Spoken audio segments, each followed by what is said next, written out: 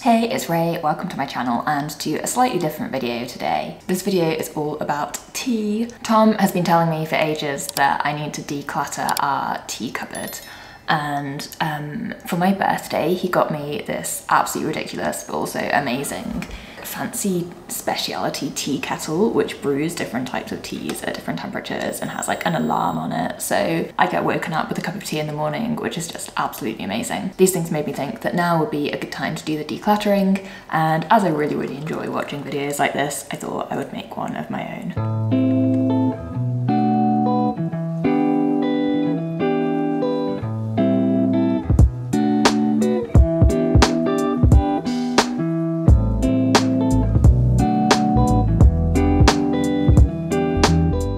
Starting off with my favourite tea, this pot, alas, no longer contains T2 French Earl Grey.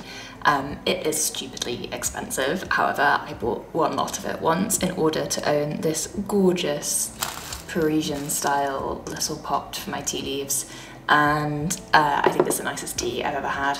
This does still contain a really lovely tea though it has got inside it this Earl Grey, which Tom and I bought from Cape Town in South Africa.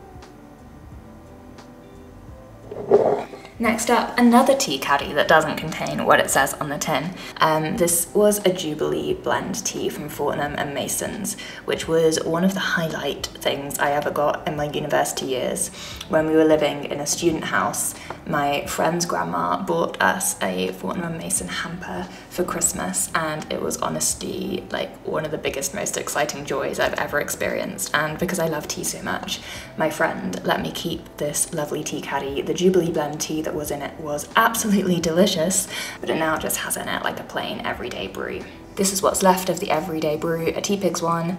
As you've probably noticed, I do have a preference for leaf tea. I have properly got into leaf tea over the years. Um, I just much prefer the ritual of it. I find it really soothing. Obviously, like the tea tastes nicer and it's better for the environment, so it just feels like an all-round win to drink leaf tea. The last of the black teas is this lemon balakate tea, which we were given as a gift from some of our friends who are living in Mozambique. It is plain black tea with the lemongrass. Next up, another Cape Town tea purchase from En Masse Tea Merchants. This one is Devil's Advocate, which is a spicy chili and ginger tea. Tom likes this more than me, but it's a really, really nice post-dinner drink. It just kind of wakes you right up and it feels so good for your digestion. I think it's based on a rooibos tea as well, so it's like a spicy, gingery rooibos tea, which is really lovely. Last of the leaf teas, this is my favourite herbal tea by far. It's called Cleansing Detox, and it's got lemongrass, lemon balm, fennel seeds, burdock root, and it's just really, really soothing and delicious. It feels so hydrating, and I absolutely love to have this in the evening. Onto the tea bag teas that we have. We've got this chamomile tea. Chamomile is a nice evening tea. It's something that guests quite often ask for if they come around in the evening and tea is on offer, so it's good to have that in. Terms of normal tea tea bags that I have over here, and certainly when I was teaching and couldn't really use leaf tea in the classroom very easily, I used to drink copious amounts of Lipton Yellow Label tea, which any British person living abroad will know is like the foreign tea. Um, you, I don't even know if you can buy this in the UK, but like in every single country that isn't the UK, you can buy this tea. And I find it highly entertaining over here because it's like a bilingual version. And so they have a little sort of pun about tea on both sides, one in English and one in French. And the French side is always so much better than the English side. So here you have un bon tea pour papoter, like a nice tea for chats, you know, which you can see you can see here there's a pun and it works. Tea, tea. In English, what's a good chat without tea? Like not even an attempt at a pun and most of them are like that so yeah, they make me smile. Lastly we have this vanilla tea which sounds nice but I don't think it would be nice and Tom said it's absolutely disgusting.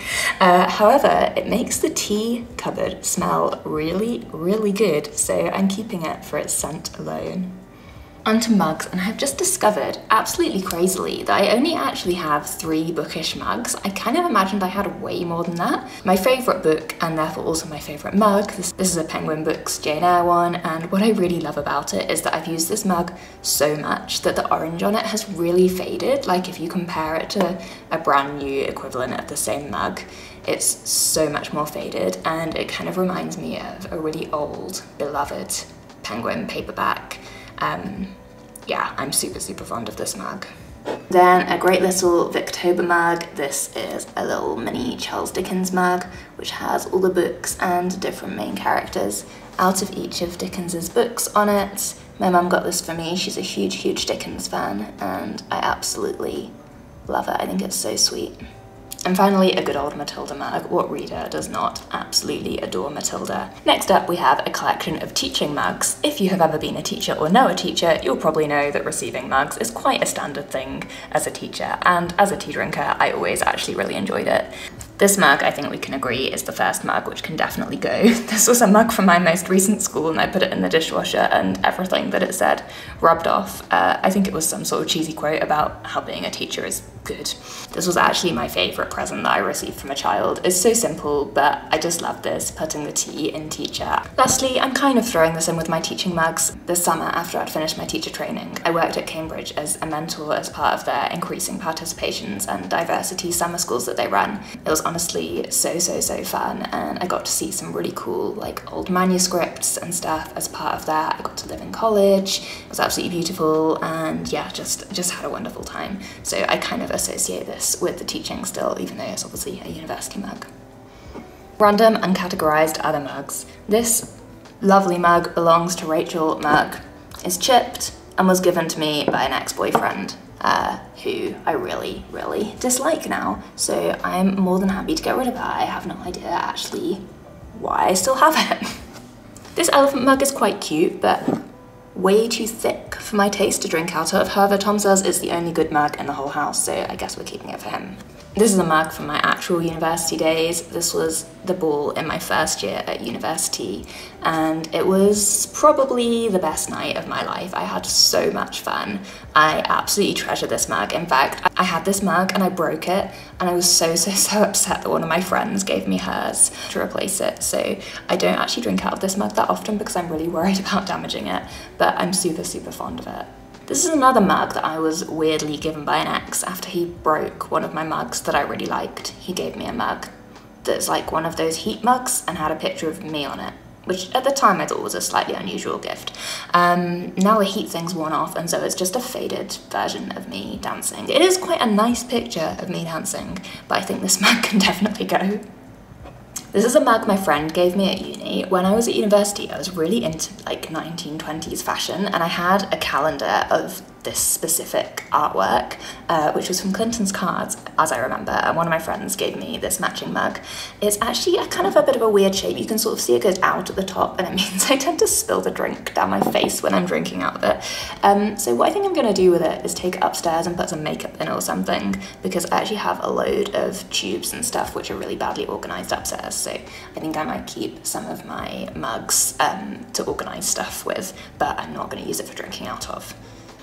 This is such a sweet little country living mug. When I first moved to Congo, I really, really missed the UK. Um, and I subscribed to Country Living as a way to get a little taste of like the seasons and the countryside and basically home. Uh, and for some weird reason, I don't think any of my subscription magazines ever actually made it out to Congo, but this mug did, that was like a free gift for subscribing. We have this Swahili mug that we bought from Tanzania where we had some money to spare at the airport that we wanted to get rid of. I'm not a huge fan, but Tom quite likes it. Sort of gonna go on the maybe pile, I think he can have final decision on that. Then we have a big Frosties mug, and particularly as a child, I absolutely adored those sweet kiddie cereals like Frosties. Um, my parents got me this mug. I'm quite fond of it because it's, it's sort of like an ongoing family joke how much I like cereal. Uh, it's maybe a little bit big though, I prefer drinking out of smaller mugs, so this might be another one which would be handy to put stuff in, but which I'm maybe not going to be drinking out of. Love this mug, another Quentin Blake one. I used to live in Cambridge after I'd finished my teacher training when I was doing my first few years of teaching, and this is an illustration that he did of all the Cambridge graduates, like cycling off into the sky post-graduation. Lastly, this tiny little baby mug that I've had since uh, for as long as I can remember. Rae is short for Rachel, which you might not have known. Um, this is another mug which I'm really, really fond of and couldn't get rid of, but also never drink out of because it's way too small, so I think this is going to join the mugs to be used to put stuff in for organising pile. Finally, we have a couple of takeaway mugs. We have this Marauders map mug, which my parents got for me. These have been so, so useful while I've been teaching when I'm out on duty in the playground or whatever. I've used this mug a lot and I feel like, I don't know if this is a thing that you, has ever happened to you, but the silicone top has gone a bit sticky. So it's kind of still all right, but it's not lovely to drink out of. I much prefer this mug, which one of my teaching assistants gave to me as a leaving present when I left one of the schools I was at. It's from Waitrose and it's just such a solid mug. I've used this day in, day out for years and it's still in great condition.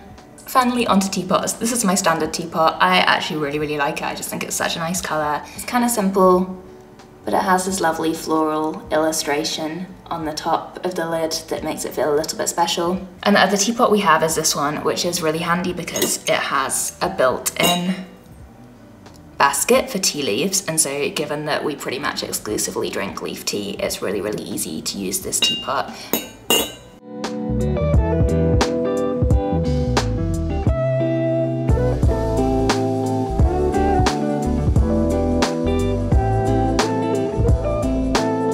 So this is the finished result. I have the teas that I use regularly at the front and some of my favourite mugs.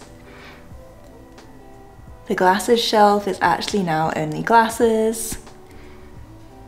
And at the top I have the teapots that I don't really use anymore but I want to get rid of.